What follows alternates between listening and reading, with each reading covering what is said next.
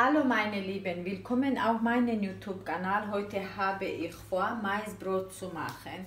Dafür benötigt man Maismehl, Buttermilch, Soda und ein bisschen Weizenmehl.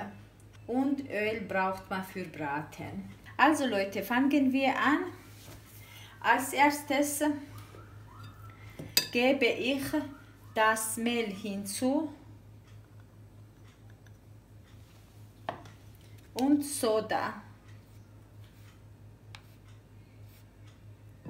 So viel.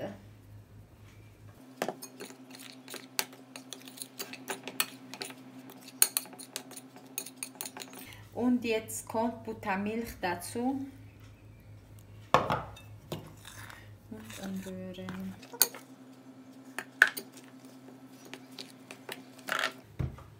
Also Leute, mit dem Teig bin ich schon fertig. Ich habe äh, Herd schon vorgeheizt. Jetzt kommt in die Pfanne Öl.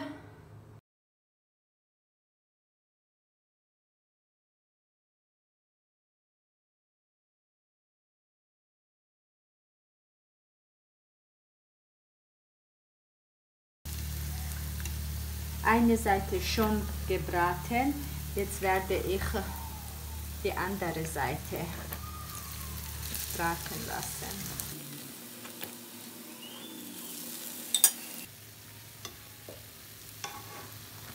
Die sind schon gebraten.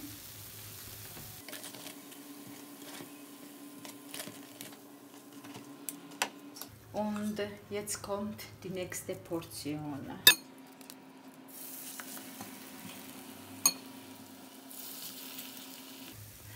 So Leute, es ist sehr wichtig, wenn der Teig weich ist, dann äh, Maisbrot auch wird sehr weich und gut.